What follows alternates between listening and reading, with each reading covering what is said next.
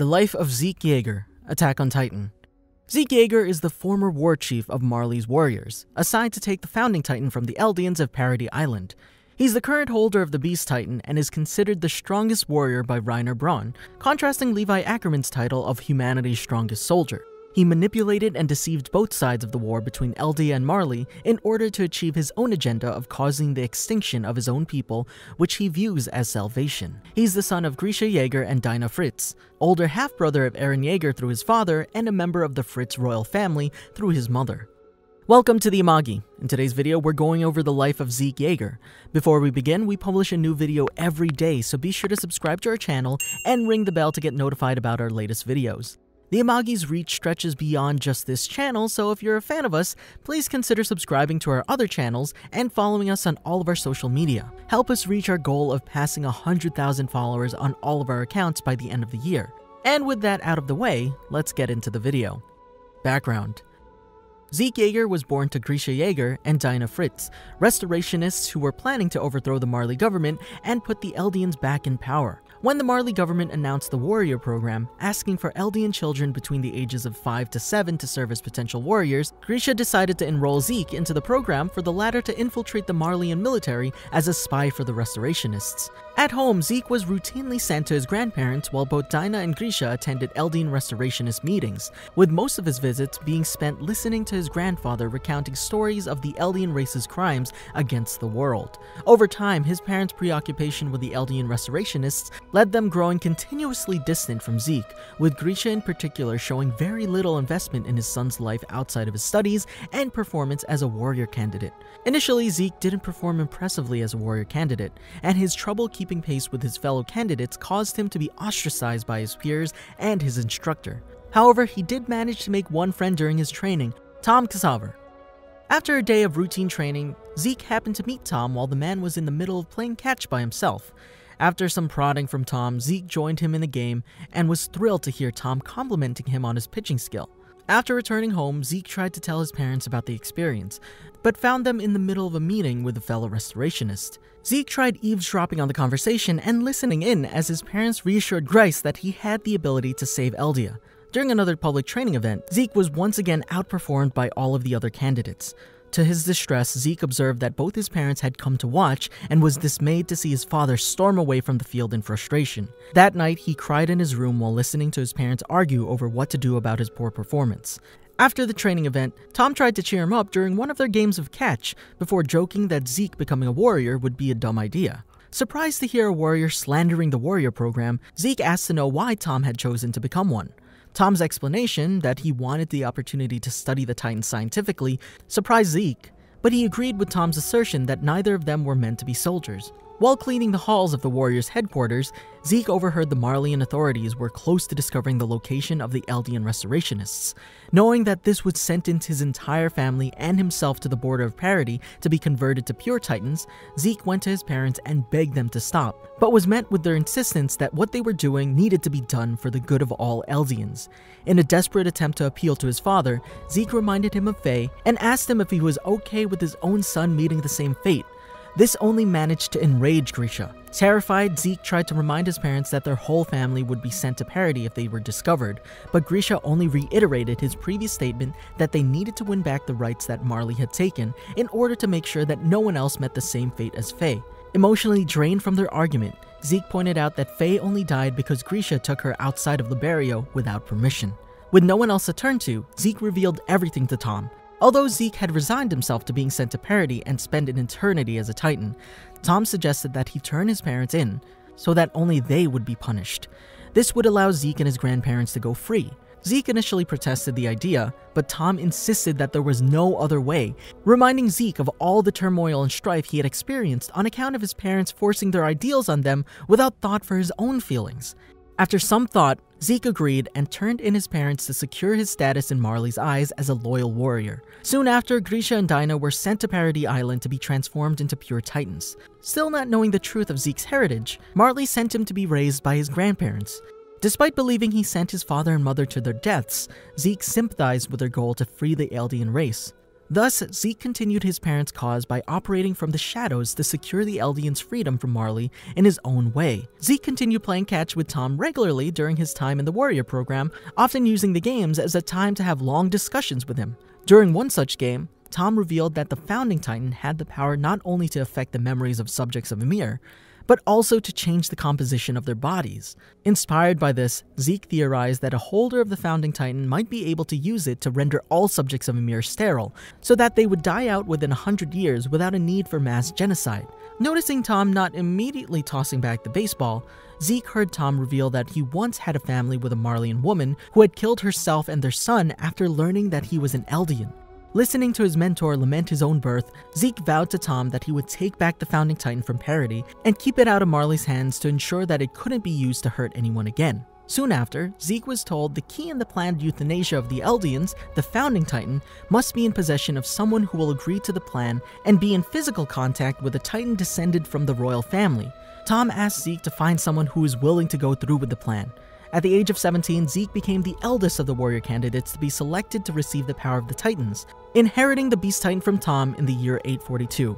Zeke kept Tom's glasses after inheriting his Titan as a memento to his former friend. It was subsequently discovered that through the administration of Zeke's spinal fluid into subjects of Ymir, he would be able to trigger their transformation with a scream and control their Titan forms afterwards, even when the moon was out. These abilities couldn't be explained by the Titan Biology Research Society, who were still unaware of Zeke's royal heritage. One year after inheriting the Beast Titan, Zeke and his fellow warriors used their Titan forms to crush an entire nation. Zeke used his Beast Titan form to bombard enemies in the midst of a retreat with explosive ammunition.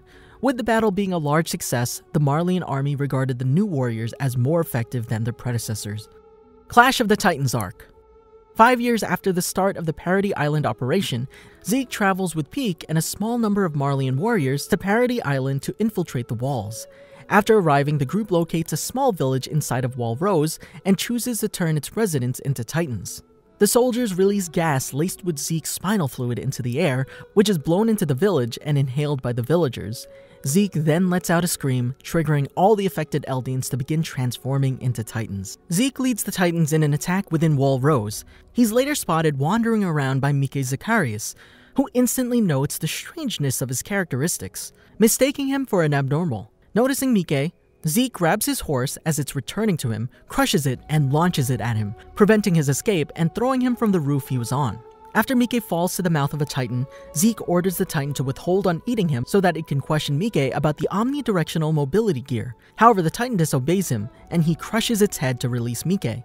Zeke then proceeds to interrogate Mike, but as he neglects to respond out of shock, Zeke theorizes that they speak the same language, but Mike is simply too frightened to speak. He also notes how he uses swords, indicating that the soldiers of the walls are aware that the nape is the weak spot of the Titans, and removes Mike's equipment for further inspection. After stealing the equipment, he hears Mike's cries of defiance and allows the surrounding Titans to devour Mike. As Mike screams in horror and pain, Zeke is amused to see that he can in fact talk. He then leaves the grounds contemplating the ODM gear, ignoring Mike's screams. Zeke is later seen again wandering around the outside of Utgard Castle, where several members of the Scout Regiment are trapped by Titans, despite them being usually inactive at night.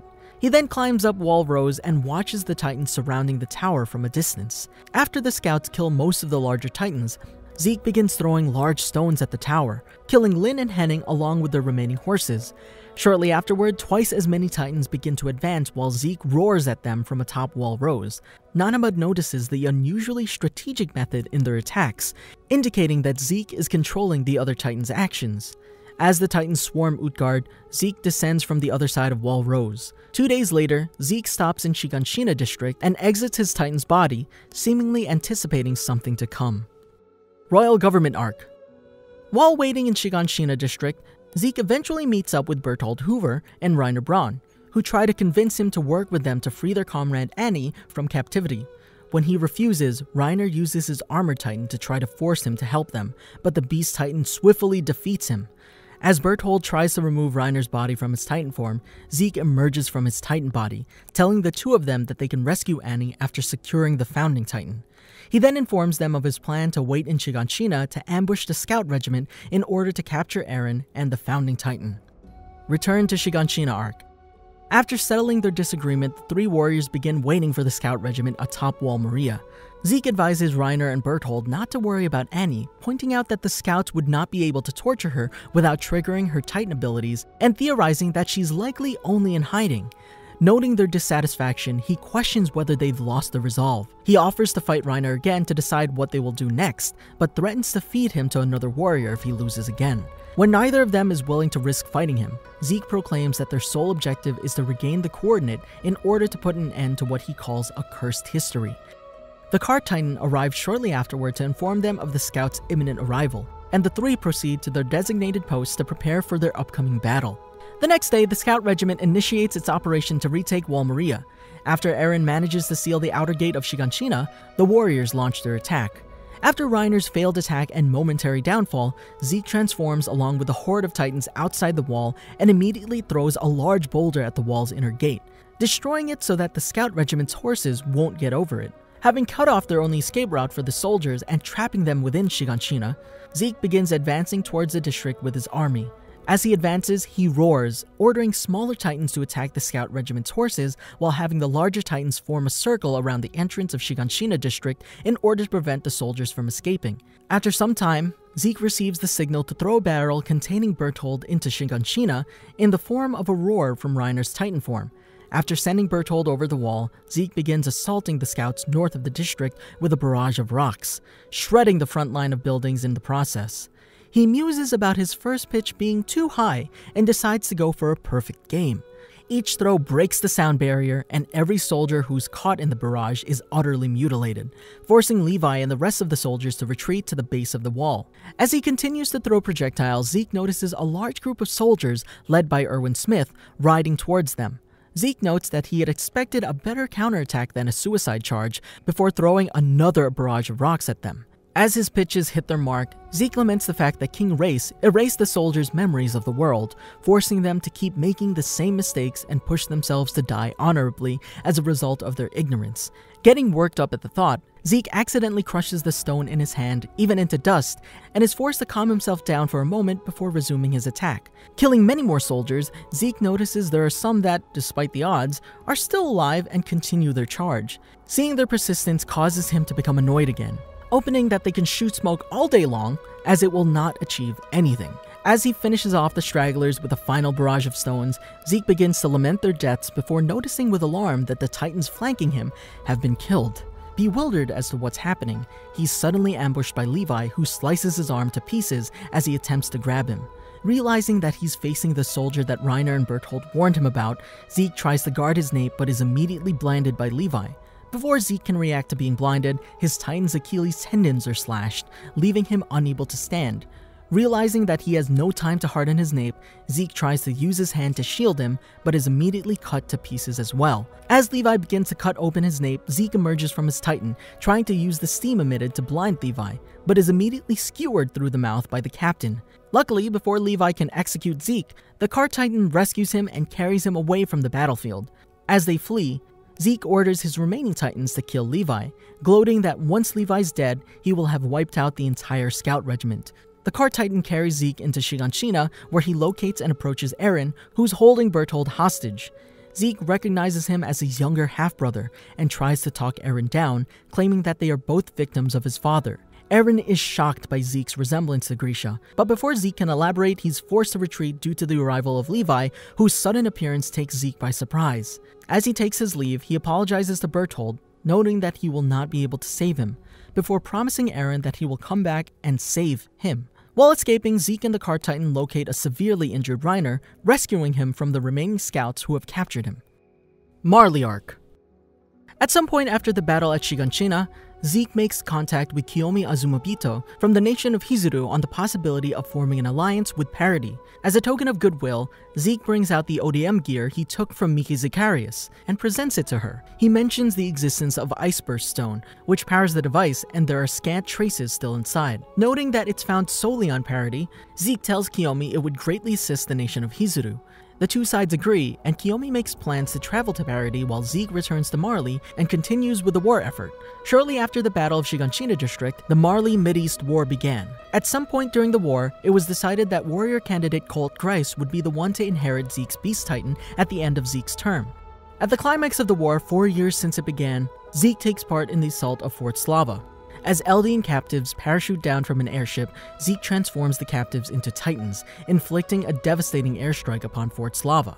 After the Armor Titan destroys the Anti-Titan artillery, Zeke transforms into the Beast Titan and joins the battle. Using leftover artillery rounds as projectiles, he destroys the Mid-East Allied Forces fleet. The fleet fires upon Zeke before their destruction, but Reiner's Armor Titan saves Zeke, being destroyed in the process. After the conclusion of the battle, Zeke takes part in a meeting with Marley officials to discuss the war's conclusion and Marley's future. Here, Zeke suggests that Marley should resume the Paradis Island operation to retake the Founding Titan as soon as possible so that the Founding Titan can be used to buy time to reorganize their military. Zeke also expresses his desire to redeem himself for his failure in Paradis before the time comes for Colt to inherit the Beast Titan. After the meeting, Zeke speaks with Colt about the latter's unique powers as the Beast Titan. Commander Magath joins the conversation, and they discuss the 32 survey ships that have disappeared when sent to Paradis Island. Zeke speculates that at least two Titans were responsible for the disappearance of the 32 survey ships, and informs Magath of the existence of the Ackerman clan in Paradis. Zeke departs on a train to Liberio. After the train arrives, Zeke walks with the warrior forces into the internment zone. When he arrives, he's lovingly welcomed by his grandparents. Zeke later holds an unofficial meeting attended by the fellow warriors and Colt. He speaks about the world's growing animosity towards Eldians, as well as the future in which conventional weaponry will eclipse Titan weaponry. He also expresses worry for the future of the Eldian race for these reasons. Zeke states that to solve these concerns, Marley must continue with the plan to regain the Founder with the prestigious Tybur family narrating the warrior's plan to the world, improving the reputation of the mainland Eldians. These points are debated among the warriors, with him and Pieck staying on the same wavelength throughout. The unofficial meeting had been tapped by Marleyan authorities, with Zeke seemingly aware of this fact. Afterwards, along with the warriors, Zeke attends a meeting with his superiors where they explain their plans for the new operation on Paradis Island. On the night of the Liberio festival, Zeke arrives with the warriors for Willy Tybur's speech. When Falco Grice asks Reiner to accompany him, Zeke allows it since there's still time before the play begins. Just as the show's starting, a Marley soldier informs the remaining warriors that Magath had summoned them. Whilst being walked to Magath's apparent location, the soldier instructs Zeke to split off and go through the front gate, which he does. After hearing the battle between the Attack Titan, the Warhammer Titan, and the military, Zeke transforms into the Beast Titan and approaches the battlefield while joining the Cart and Jaw Titans. He provides artillery once more by launching debris at the soldiers and nearly gets attacked by two soldiers but is saved by Pieck. He has her provide covering fire from behind and he repels the scouts. He then announces that Eren is not his enemy, but another soldier from Paradis Island is Levi Ackerman. He calls out to Levi and demands him to come face him again, stating that time is running out. Shortly afterwards, he notices Armin's transformation into the Colossal Titan from the nearby harbor along with everyone else. While the explosion has everyone distracted, Levi ambushes Zeke and slices his nape, rendering his Titan inert. Levi immediately throws a bomb into Zeke's open nape, blowing it up. Using the explosion as cover, Levi cuts Zeke out of his nape and brings him aboard the Eldian airship. As he regenerates his severed limbs, Zeke converses with both Eren and Hanji. When both Gabi Braun and Falco are brought aboard, Zeke expresses surprise at seeing them there. He then discusses with Hanji that despite a number of miscalculations, namely the two warrior cadets, the sacrifices made during the fight were worth it to ensure Eldia had both the Founding Titan and someone with royal blood. He's now confident that Eldia will have a chance at finally obtaining their freedom. After arriving on Paradis Island, Zeke is seen with Levi inside of a carriage, commenting that the citizens celebrating in the streets are ignorant of the true impact of the assault. Although Levi tries making death threats to him, Zeke is unperturbed and coolly insists that Levi take him to Eren. Levi instead takes Zeke to the forest of giant trees, informing him that this is where they'll be staying. Marveling at the sight, Zeke asks Levi if he can show the trees to Gabi and Falco, but is told that it depends on his own actions. War for Paradis arc. While Zeke is being guarded inside of the forest, he explains how he was able to transform the citizens of Ragako. Levi is bothered by Zeke's nonchalant explanation, accusing him of having no concern for human life. Zeke waves away Levi's criticisms, explaining that his loyalty to Marley would have been questioned if he had not complied with his orders. Changing the subject, Zeke requests to know when he will be able to begin experimenting with Eren's Titan abilities, but Levi claims he's not allowed to answer. Zeke claims that it would be unwise to remain inactive for much longer, to which Levi readily agrees. He later asks if there was any wine left, and Levi informs him that the soldiers drank it all. Zeke sarcastically mentions that Levi comes up with the worst punishments. As Levi walks off, Zeke sees an opportunity to escape and runs into the forest. Before Levi or any of the other soldiers can stop him, Zeke lets out a piercing scream. This triggers all the scouts in the camp who drank the wine to transform into titans, which fall out of the trees around Levi. Confident that Levi wouldn't slaughter his own subordinates, Zeke mockingly states that he didn't want to do this, but laments that this isn't a proper conflict. Regardless, he summons three of the newly created titans and bids farewell to Levi. He ponders if the Eldians truly understand the ramifications of their surprise attack on Liberio, and inwardly states that only he and Eren truly know the costs. As he plans to have the Titans take him to the agreed upon meeting place with Eren, Zeke is stunned to see the bloodied and angered Levi appear in front of him. Zeke frantically orders one of the Titans to attack him and then subsequently transforms into the Beast Titan. He immediately hardens his nape and scans the area for Levi. Finding him, Zeke tears apart the final surviving Titan and throws the bloody Titan pieces towards his foe. He chastises Levi for killing his subordinates and notices many tree branches falling towards him. Zeke is unable to spot Levi among the branches and is struck by several thunder spears that pierce through the hardened nape of the Beast Titan. Horrified, he only has a moment to process this before Levi detonates the spears, severely injuring Zeke. Sometime later, Zeke awakens tied up on a carriage with a thunder spear sticking out of his abdomen. Levi informs him that the fuse and triggering mechanism are tied around his neck and any sudden movements can set it off. While Zeke vomits uncontrollably, Levi begins to slice off Zeke's legs to prevent him from transforming, making Zeke scream in agony. Only half conscious, Zeke asks where his glasses are before having his memories of Tom flash before his eyes. Zeke mutters about his plan to euthanize the Eldian nation to ensure the world's safety. Levi mocks him for this, declaring that his impending death at the hands of a Titan is too merciful for the lives he has taken. Zeke weakly protests that he was saving their potential children's lives by killing them, prompting Levi to angrily prepare to cut off his legs again. Suddenly, Zeke screams out Tom's name and jerks his head back, pulling the pin on the thunder spear lodged in his stomach, causing an explosion. The explosion leaves Zeke completely mutilated and his wounds too severe for his body to regenerate from. As he begins to succumb to his injuries, Zeke recalls the meeting he had with Eren in which the two of them agreed to sterilize the Eldian race. As Zeke loses consciousness, one of the Titans he created regenerates and approaches his body. Rather than devour him, the Titan tears open its own stomach and places him inside. Zeke regains consciousness to find himself alone in an unknown location. Surprised to discover that he is somehow still alive, he notices a lone girl silently reconstructing his body out of soil. As this occurs, Zeke looks above him and notices strange patterns in the sky. He theorizes that he's experienced a path and that the girl before him is his ancestor, Ymir Fritz. After a short time, Zeke is released from the Titan's stomach, fully healed from his injuries and in a slight daze. He watches on as soldiers pursue Hanji before being approached by a number of Jaegerists with Floch Forster trying to ask him what happened. Recomposing himself, Zeke avoids his questions and merely proclaims that they just have to move forward before departing with the Jaegerists. Zeke arrives in Shiganshina to find the district under siege from Marley's forces and Eren locked in combat with Reiner. After climbing to the top of Wall Maria in his Titan form, Zeke launches debris which knocks Reiner off of Eren and commends his younger brother for standing against Marley's forces, comforting him that he will now take care of the enemies.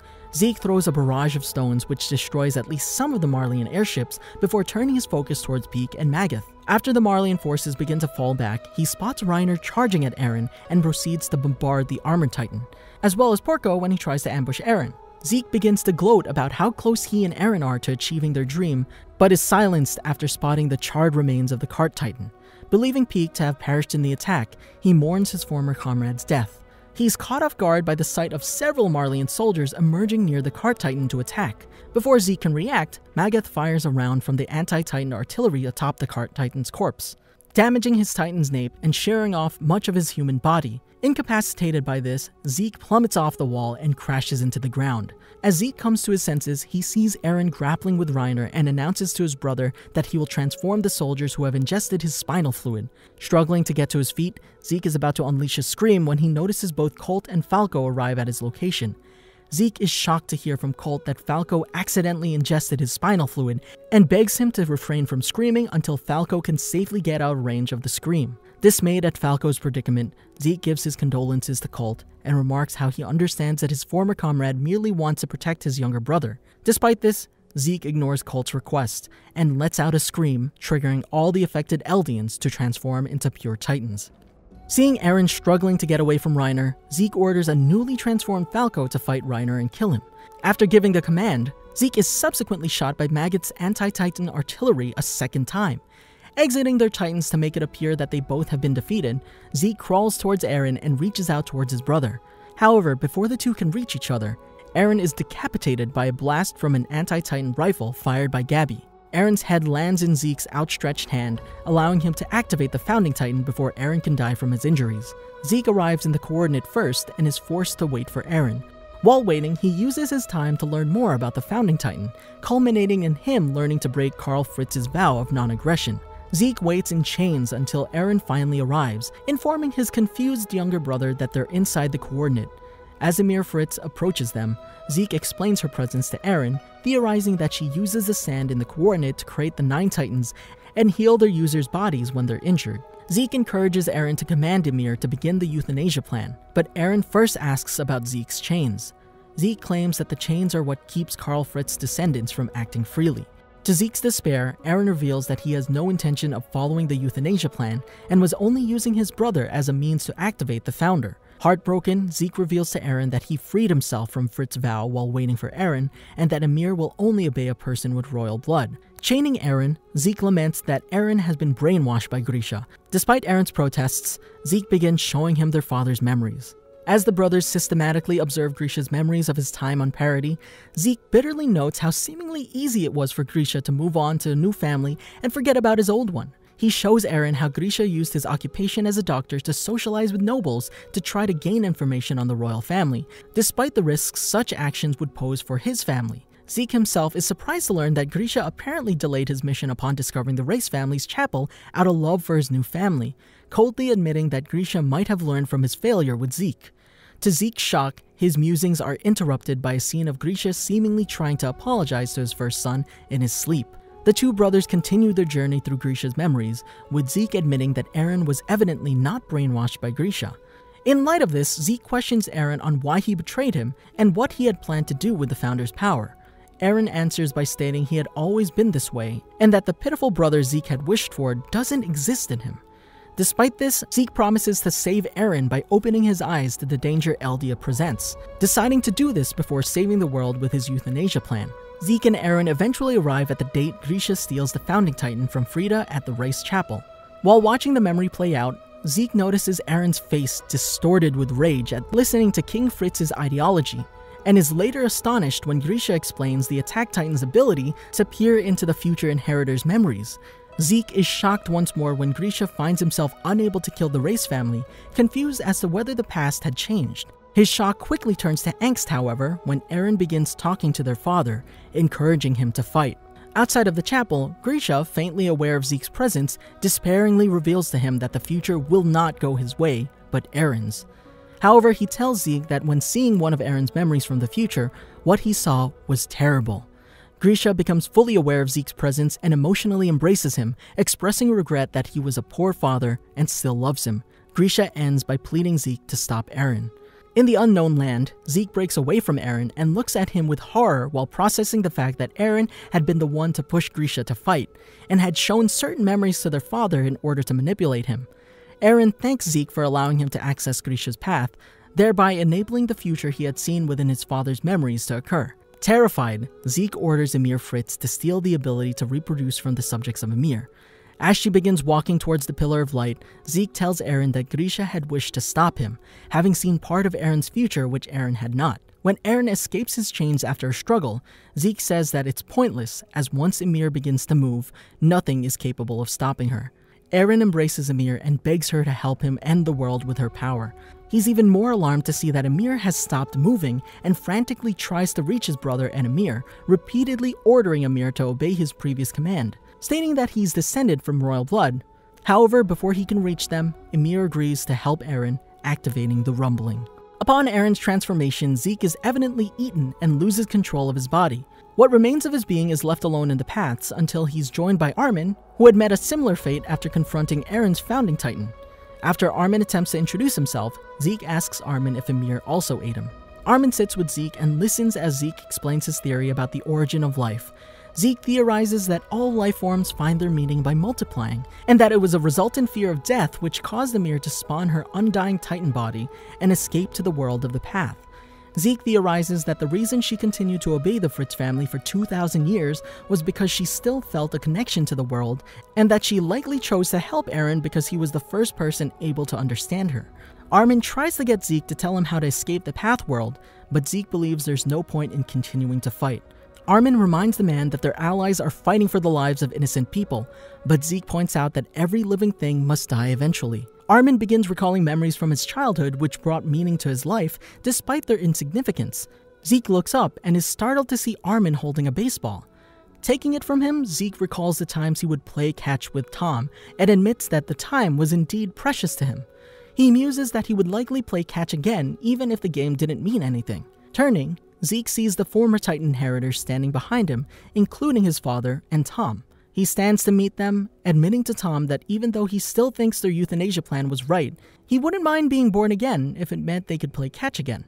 He thanks Grisha for his life and asks his two father figures to lend him their strength. Zeke emerges from Eren's Titan and begins calling for Levi. After getting his attention, Zeke takes a moment to admire the day and laments that he didn't notice its beauty sooner. He wryly admits that he didn't deserve the notice, given the atrocities he has committed before being decapitated by Levi. Did you enjoy our video? Be sure to check out these other great videos from the Amagi, and make sure to subscribe and ring the bell to be notified about our latest videos.